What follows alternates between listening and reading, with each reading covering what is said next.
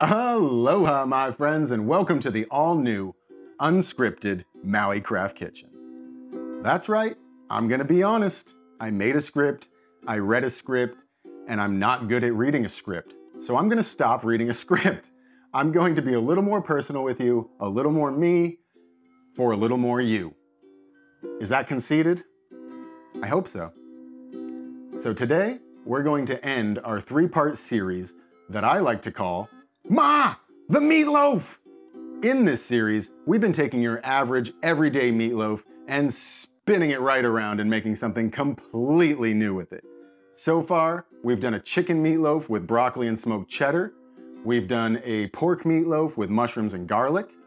And today, we're going to end this series with the meatless loaf. That's right, this is going to be a vegetarian meatloaf, the meatless loaf. This is a base of millet. Yeah, this is unscripted. You might see some weird pauses and some weird hand gestures. I know.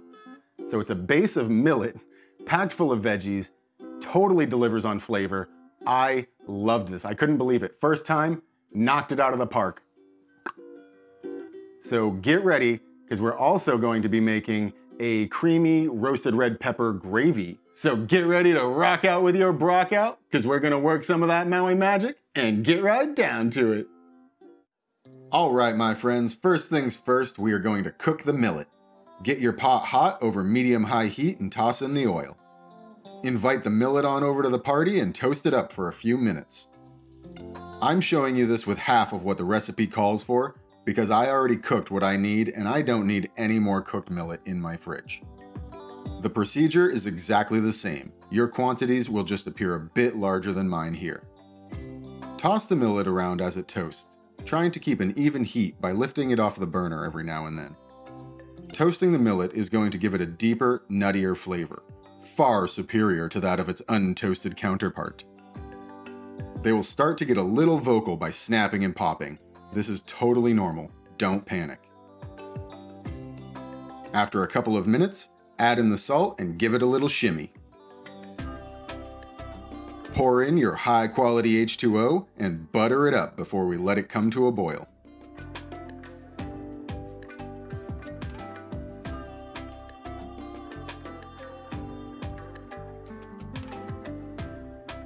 Now reduce the heat to a simmer, cover it, and let it cook for roughly half an hour.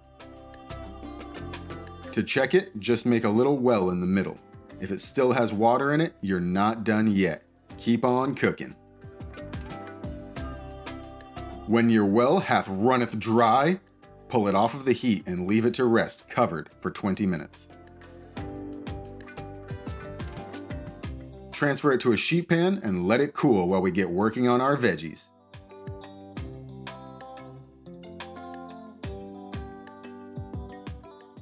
There really is no rhyme or reason to the way I cut everything. I was just trying to make everything a little bit different. So just do whatever you're feeling in the moment. There are no rules. Why, you can rip them, dice them, grate them. Okay, I do remove the seeds from the zucchini and summer squash.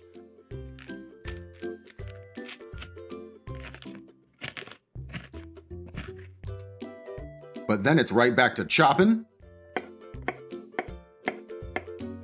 slicing, and dicing.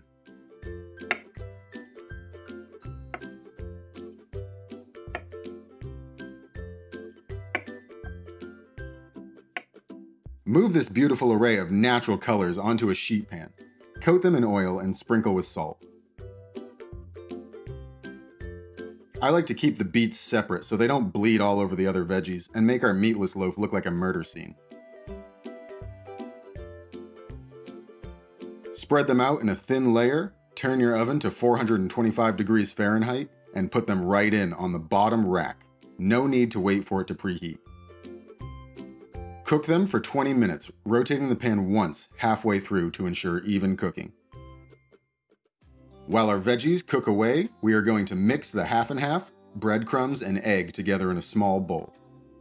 This will hydrate the bread and make our end product much more moist.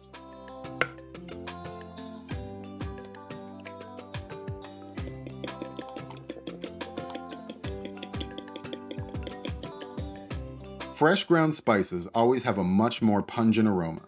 I highly recommend grinding your own where you can.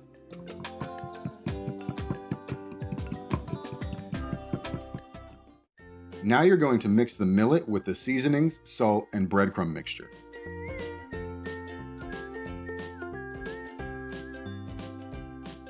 It is really important to mix this very well and squish it around a lot so it holds together better. I know that you guys are much better than me at following a recipe and will actually use the 800 grams of cooked millet that the recipe calls for, instead of 1000 grams like I've done here. It will still work, Mine just won't hold together as well and might be a little drier than yours. So just follow the recipe and you'll be just fine.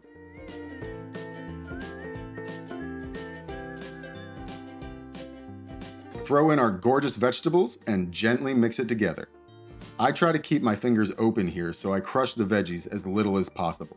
We want them to stay intact.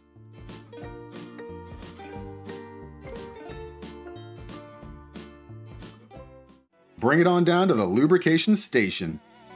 Oil up your 5 by 9 by 2 inch loaf pan now. I don't like to waste anything, so here is yet another awkwardly long hand oiling scene brought to you by Maui Craft Kitchen.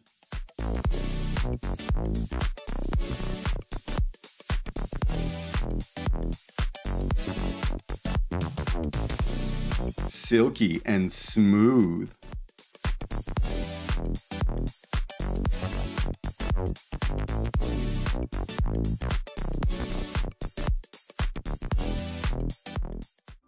Enough with the lube. Take your meatless loaf filling and stuff it right into that loaf pan, pressing it down firmly to remove any and all air pockets.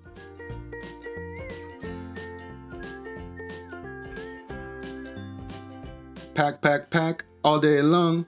Pack, pack, pack while I sing my song. Gonna pack my loaf, pack it good. Pack my loaf like a good boy should. Cut one tablespoon of butter into four pieces and spread them along the loafer. Bake this on a liner in a 400 degree Fahrenheit oven for 60 minutes, rotating once halfway through cooking. When your beautiful meatless loaf is done, just slap some plastic wrap on it and let it set up for two to three hours. The longer, the better. This rest helps it hold together a lot more. While it is taking a nap, we can start our red pepper sauce.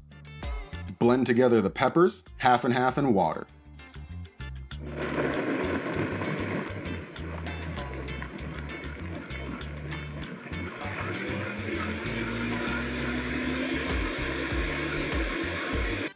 Get a sauce pot hot, maybe not quite this hot, and melt your butter.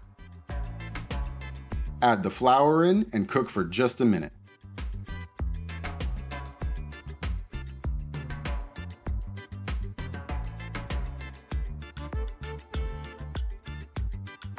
In small intervals, whisk in the red pepper mix, being sure to get rid of any lumps before adding more liquid.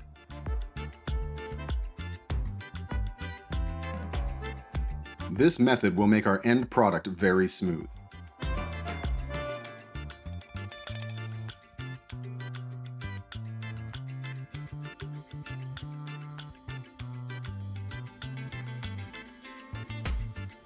Add in the salt and seasonings and give it a whiskin.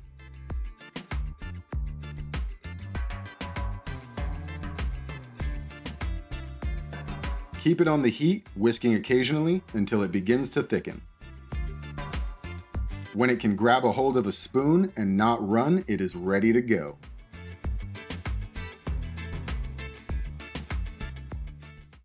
After your meatless loaf has had a nice rest, flip it out onto your cutting board. Using a wet knife so it slides easily. Slice some pieces off of your loafer.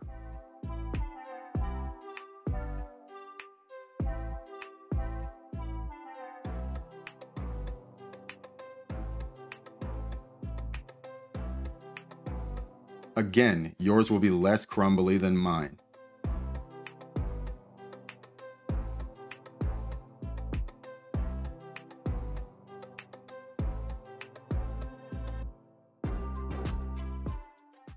Lay down a healthy amount of our roasted red pepper bechamel, swirl it out a bit, keeping it circular, and lay a slice of meatless loaf right on top. This looks so damn good that even your kids are going to want to eat it. They'll be begging you for vegetables. It don't have to have meat to be delicious. I told you this meatless loaf rocked. I was right. I know I was. I know you're not gonna be disappointed. Give it a shot. You're gonna love this. Break it out at your next dinner party. You're gonna be the star yet again. These meatloafs, meatloaves, meatloafs, anybody? In the comments, let me know. Loaves, loafs, when referring to the meat variety, I'm not really sure. I'm gonna go with loaves. These meatloaves in this series rock the party that rock the party. You know it, and I know it. If you liked today's video, hit that subscribe button and click the bell. It really helps me further this channel and keep these videos rolling for you guys. Thank you so much for watching. Many mahalos and much aloha.